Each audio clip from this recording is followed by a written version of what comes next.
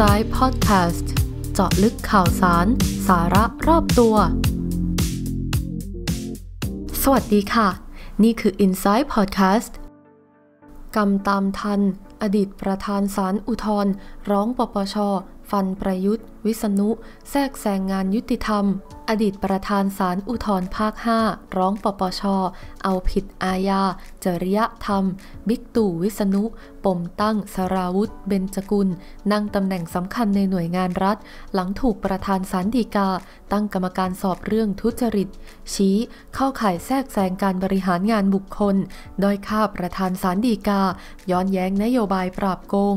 สาลิคุป อดีตประธานศาลอุทธรภาค 5 ยื่นคำร้องต่อ คณะกรรมการป้องกันและปราบปรามการทุจริตแห่งชาติ ปปช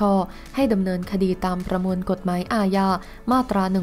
157 ต่อพลเอกประยุทธ์จันโอชา นายกรัฐมนตรี และนายวิษณุเครืองาม รองนายกรัฐมนตรี ฐานแทรกแซงการบริหารงานบุคคลของศาลยุติธรรม แต่งตั้งนายสราวุธ เบญจกุล อดีตเลขาธิการสำนักงานศาลยุติธรรม และที่ปรึกษาพิเศษประจำสำนักงานศาลยุติธรรม ซึ่งประธานศาลฎีกา มีคำสั่งตั้งคณะกรรมการสอบสวน เรื่องทุจริตจัดซื้อจัดจ้าง ไปทำหน้าที่สำคัญ ในหน่วยงานที่อยู่ใต้สังกัดรัฐบาลหลายแห่ง อันอาจเป็นความผิดต่อกฎหมาย ต่อตำแหน่งหน้าที่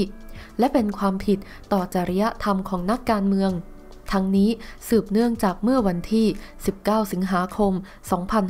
2564 ประธานศาลฎีกามีคำสั่งแต่งตั้ง คณะกรรมการสอบสวนวินัยร้ายแรง แก่นายสราวุธ เบญจกุล อดีตเลขาธิการสำนักงานศาลยุติธรรม และที่ปรึกษาพิเศษ ประจำสำนักงานศาลยุติธรรม กรณีมีการทุจริตจัดซื้อจัดจ้างปรับปรุงอาคารศาลจังหวัดพระขนง และได้มีการส่งเรื่องให้ปปชดำเนินคดีอาญากับผู้กระทำผิดแล้วก่อนหน้านี้ แต่หลังจากนั้นมีประกาศสำนักนายกรัฐมนตรี เรื่องการแต่งตั้งนายกสภามหาวิทยาลัย และกรรมการสภามหาวิทยาลัยผู้ทรงคุณวุฒิของมหาวิทยาลัยสงขลานครินที่มีชื่อนายสราวุธ ได้รับโปรดเกล้า แต่งตั้งให้ดำรงตำแหน่งกรรมการสภามหาวิทยาลัยสงขลานครินซึ่งนายวิษณุเป็นผู้รับผิดชอบลงนามสนองพระบรมราชโองการ ทั้งที่นายวิษณุน่าจะรู้อยู่แล้วว่านายสราวุธมีคุณสมบัติไม่เหมาะสมที่จะดำรงตำแหน่งดังกล่าว สมควรมีคำสั่งให้มหาวิทยาลัยสงขลานครินทบทวน และสอบถามความเห็นจากสำนักงานศาลยุติธรรม และประธานศาลฎีกาซะก่อน แต่นายวิษณุกลับนิ่งเฉย นอกจากนี้พลเอกประยุทธ์ ปฏิบัติหน้าที่ในฐานะประธานกรรมการข้าราชการตำรวจ ยังได้ลงนามในประกาศคณะกรรมการข้าราชการตำรวจ แต่งตั้งให้นายสราวุธดำรงตำแหน่งรองประธานอนุกรรมการ ในคณะอนุกรรมการ กตรเกี่ยวกับการอุทธรณ์ และเมื่อวันที่ 11 มกราคมที่ผ่านมา คณะรัฐมนตรี ซึ่งพลเอกประยุทธ์และนายวิษณุได้ร่วมประชุม มีมติแต่งตั้งประธานกรรมการและกรรมการไฟฟ้านครหลวง โดยมีชื่อนายสราวุธดำรงตำแหน่งกรรมการการไฟฟ้านครหลวงต่ออีกหนึ่งสมัย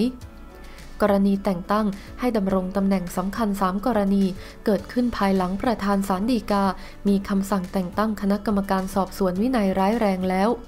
พลเอกประยุทธ์ และนายวิษณุย่อมทราบดีว่าต้นสังกัดไม่อาจอนุญาต ให้นายสราวุธไปดำรงตำแหน่งอื่นใดนอกราชการศาลยุติธรรมได้ จึงเป็นการที่พลเอกประยุทธ์ และนายวิษณุใช้อำนาจในตำแหน่งแต่งตั้งหรือเห็นชอบ ให้นายสราวุธไปดำรงตำแหน่งต่างๆ โดยพละการ เป็นการแทรกแซงการบริหารงานบุคคลของสำนักงานศาลยุติธรรม